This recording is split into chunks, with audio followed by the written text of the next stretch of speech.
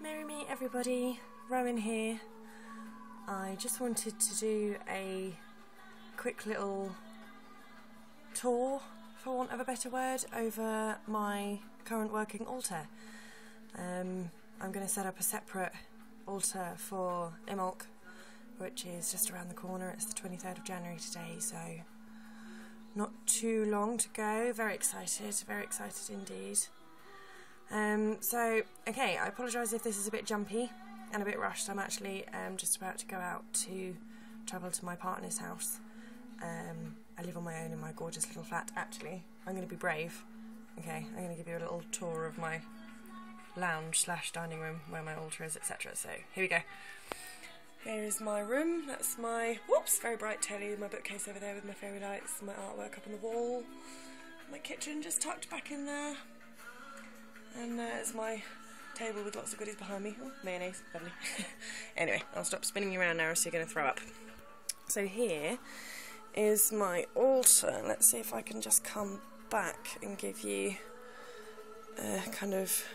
Well, that's from left... That's my dreadlocks hanging out there. That's from left to right. So here we go. On the left over here, I have my my goddess. She's a beautiful angel that my mother gifted to me um, several years ago. My mum's not with me anymore, so it's also a way of having her here. And I have my sacred, blessed moon water there. I actually watched uh, Lady Gravedancer, a bit of a heads up to you there, lassie.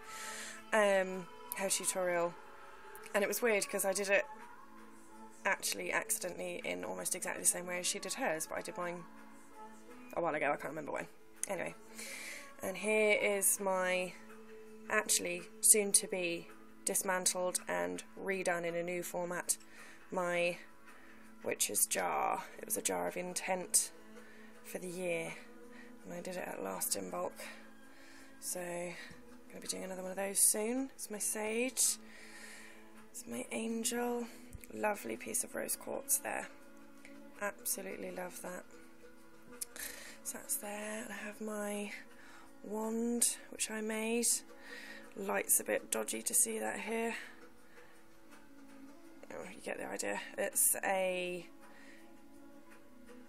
hazel. No, no, it's not. It's a, a bay.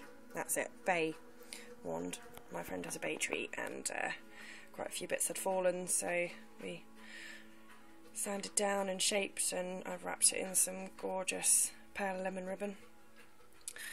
I have my water and my chalice, which my partner, because he is amazing, engraved for me with moire and the pentacle on the back. It's pewter, and he made it himself for me. He also, oops, having focus issues. There we go.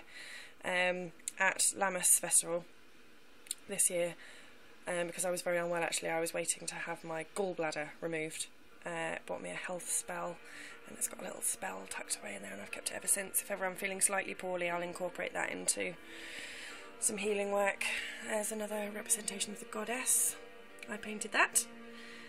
I haven't mentioned it before obviously because I've only done one video but I'm also a painter. Um, actually, hanging up on the wall over there, right there, that lassie with the pink hair, that's mine, I did her. Um, and I have my my stone carved engraved pentacle here with my Hunter's Moon water on it. I'm going to do another video on this at some point, but I dance with a Morris dancing group called the Hunter's Moon. Uh, we're a border Morris style. If you've ever been to any event and you've seen Morris dancing, we're the guys with the black faces. That's us. And uh, we did our Hunter's Moon ritual on the Hunter's Moon, which is where Hunter's Moon got their name from.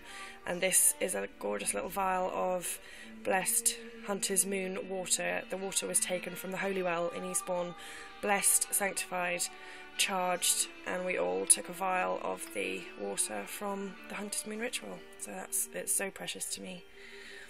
Then we have my my athame. I love this athame. It's absolutely beautiful. It's got a leather bound handle. I love it very much. And my pendulum, which I made this is a nectarine. Let me just put it where you guys can see it. It's a nectarine, pitted nectarine, and I already had the mounting. So put that on there. That's my lovely amethyst. My love spell deck in here, in there, is my tarot. It's a gorgeous box. I keep my tarot on there because I use them daily and I like to keep them on my altar. And offering bowl for the god here. This is a piece of wheat that I gathered at the Lammas Festival. Uh, the same Lammas Festival as my partner got my health spell from. Um, Hunter's Moon, who I dance with, we performed the public Lammas ritual. I was lucky enough to actually be a part of the ritual. So, that was gorgeous. And I have my green man down here with my god. I absolutely love him. I have two more of these, slightly different faces. They're a set, and they're gorgeous. And um, there behind the god, I have stream water, which was collected from a stream in Hampden Park, which is near me, um, which has been blessed. And I use that for any uh, divination works for the flowing waters. And uh, yeah, I think that's about it really. It's quite, oh, it's quite a good video. if I don't say so myself. So that's my altar. Just thought I'd share it with you guys. Um, I will post one from when I've done my Imbolc altar, which will be soon. I'm going to be putting that very soon. So um, yeah, I hope you enjoyed. Uh, feel free to ask me any questions, post comments, like, please subscribe. I'm a baby channel. So um, I will speak to you soon. Blessed be, guys.